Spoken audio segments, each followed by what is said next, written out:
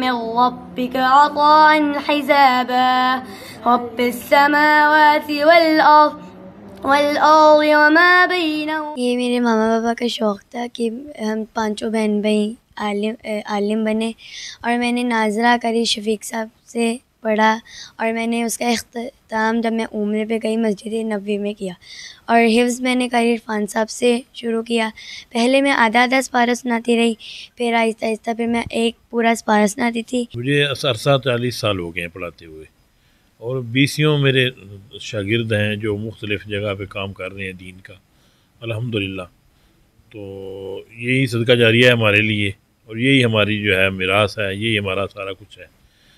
تو الحمدللہ یہ اس سے پہلے میرے پاس جو بچوں نے حفظ کیا تھا، کم سے کم ٹائم وہ ساڑھے چار ماہ اور ساڑھے چھ ماہ تھے۔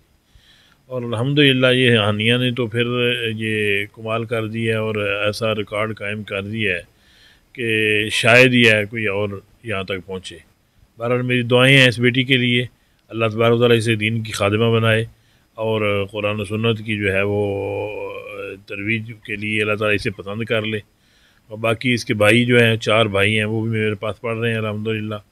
وہ بھی اچھے طریقے سے قرآن مجید کے دل لگا کے پڑھتے ہیں اور میں نے اپنی زندگی میں جتنے بچوں کو میں نے پڑھایا ہے، اتنے محبت کے ساتھ، اتنے معدب بچے میں نے بہت کم دیکھے ہیں۔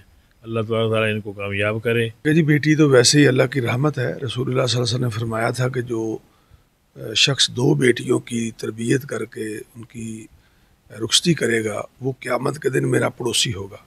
تو اللہ کا فضل ہے کہ میرے دل میں اللہ نے یہ بات ڈالی اور میری بیگم کے دل میں ڈالی کہ ہم اپنے سب کے سب بچوں کو، پانچوں کو بچوں کو اپنے اللہ کے دین کے نام پہ وقف کریں۔ یہ عارضی زندگی ہے اور ہم دائمی زندگی کے اندر اس کا صلہ اپنے اللہ سے لیں اور اس کی رحمتوں کا ہم حصول بن جائیں۔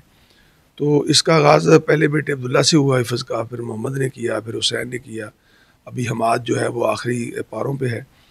تو ہانیہ جو ہے، اس کو ناظرہ قاری شفیق صاحب نے پڑھایا تھا اور حفظ قاری عرفان صاحب چونکہ بچوں کو کرا رہے تھے، تو جو چھٹیاں تھیں ففتھ کلاس میں ابھی پڑھ رہی ہے، تو چھٹیاں تھیں تو ہم نے کہا کہ چلو چھٹیوں میں یہ بھی تھوڑا سا حفظ کر لے۔ تو قاری صاحب نے مجھے تیسرے چوتھے دن بتلایا کہ الحمدللہ یہ تو پورا پورا پارا سنا رہی ہے، تو میں اس کو ایک ہزار روپیہ ہر پارے کا انعام بھی دے رہا ہوں۔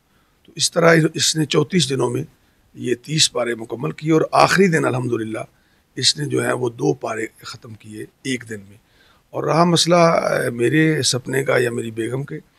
تو ہاں یہ بات تھی کہ جہاں بھی قرآن کی محفل ہوتی تھی انٹرنیشنلی ایران میں ہو، سعودی عرب میں ہو، دبئی میں ہو، امارات میں ہو، تو میں بچوں کو دیکھ کے یہ خواب یا یہ خواہش کرتا تھا کہ کاش یہاں میرا بھی کوئی بچہ ہو۔ ماشاء اللہ جی پہلے دن سے ہی تجوید حافظہ، حافظوں کی طرح نہیں، بلکہ قاریوں کی طرح بچی نے تجوید کے قواعد پورا ناظرہ پڑھنے سے پہلے تجوید پڑھی، اس کے پاس اس کے بعد پھر ناظرہ جب شروع کیا تو عرب لہجے کے اندر اور بہت حفاظ سے بھی زیادہ مضبوط قرآن ناظرہ پڑھا۔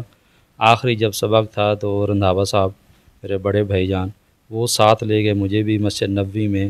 آخری سپارہ، پہلا سپارہ جو تھا، کمپلیٹ ہونے والا تھا، وہ آخری سبق بیٹی نے نبی اکرم صلی اللہ علیہ وسلم کی مسجد نبوی میں کمپلیٹ ہوا ہے ماشاء اللہ